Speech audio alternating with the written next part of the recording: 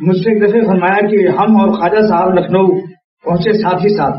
تو خواجہ صاحب نے میرا بستر اپنے سر پر رکھ لیا۔ حضرت نے مجھ سے فرمایا، مولانا شاہد الغنی صاحب رحمۃ اللہ علیہ نے، کہ خواجہ صاحب نے میرا بستر اپنے سر پر رکھ لیا لکھنؤ کے پلیٹ فارم پر۔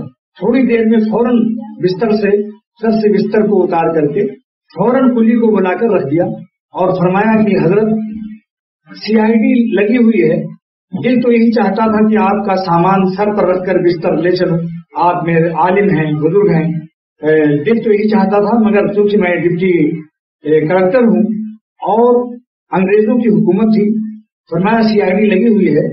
ہماری اس عہدے کے منصب اور منصب کے لحاظ سے میرا یہ سر پر بستر رکھنا یہ حکومت کے نزدیک معیوب ہوگا اور میری نوکری خطرے میں پڑ جائے گی۔ لہٰذا سی آئی ڈی کو دیکھ کر فوراً جلدی سے پولی کو بلا کر اپنے سر کا بستر اس پر رکھ دیا۔ یہاں ایک مسئلہ معلوم ہوا کہ جس طریقے سے ڈپٹی کلکٹر کو اپنی پوسٹ اور عہدے کا خیال ہوتا ہے کہ کوئی بات ایسی نہ ہو جو اس کے منصب کے خلاف ہو۔ ایسے ہی حافظ قرآن کا بھی ایک منصب ہے اور عالم دین کا بھی ایک منصب ہے۔ اللہ تعالیٰ اللہ معلوسی رحمۃ اللہ علیہ کو جزائے خیر عطا فرمائے۔ فرماتے ہیں کہ اللہ کا جو وعدہ ہے کہ ہم قرآن کو محفوظ کریں گے اور قرآن کی حفاظت ہمارے ذمے ہے۔ اس سے پہلے کسی آسمانی کتاب کی حفاظت کا اللہ نے وعدہ نہیں فرمایا۔ اللہ معلوسی رحمۃ اللہ علیہ شاید کی تفسیر میں کہ قرآن ہم نے نازل کیا، ہم اس کی حفاظت کریں گے۔ اس کی تفسیر فرماتے ہیں کہ اللہ تعالیٰ نے ان اللہ علم یحفظ کتب السماویت السابقہ من التورات والانجیل والزبور۔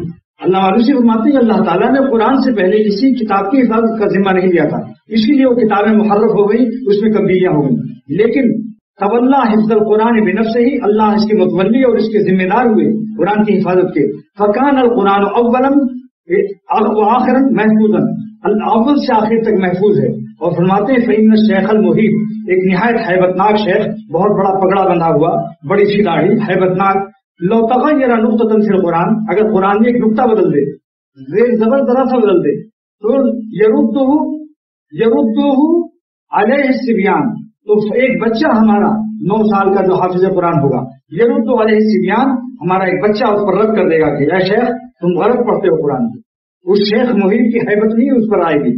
ایک بچہ جو حافظ قرآن ہے، وہ فوراً ٹوک دے گا۔ تو اللہ تعالیٰ نے قرآن کو تو فرمایا کہ قرآن کی حفاظت ہم کہاں کریں گے؟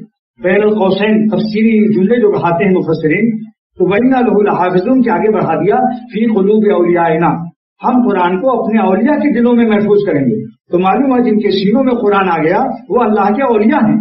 لیکن ولایت کی ڈگری اور پوسٹ کرسی تو مل گئی، مگر ڈپٹی کلکٹر کے لیے اگر اس کو یہ عہدہ ملتا ہے، تو اسے اس عہدے کا عزت کا خیال بھی رکھنا پڑتا ہے۔ جیسے خواجہ صاحب نے فوراً کھلی کا بستر، فوراً اپنا بستر سب کا کھلی پر رکھ دیا۔ جذبات تھے یہی مولانا شاہد الغنی صاحب کو بستر لے کے باہر تک اپنی کار پر لے چلے۔ تو معلوم ہے اللہ تعالیٰ نے بہت عظیم نعمت دی، جس کو اللہ نے قرآن کا حافظ بنایا۔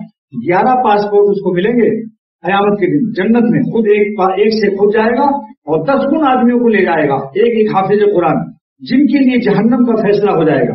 حضور فرماتے صلی اللہ تعالی وسلم، وجبت لحم النار، جن کے لیے جہنم کا فیصلہ ہوگا، ان کو حافظ قرآن لے جائے گا۔ مگر شرط یہ ہے، ہر چیز کے لیے کچھ شرائط ہوتے ہیں۔ شرط یہ ہے کہ قرآن کے حرام کو حرام سمجھے، حلال کو حلال اس پر عمل بھی کرے۔ تو اس لیے یا اللہ تعالیٰ نے یہ بات حافظ قرآن ہو جانے کے بعد کچھ ان کی ذمہ داریاں بڑھ جاتی ہیں۔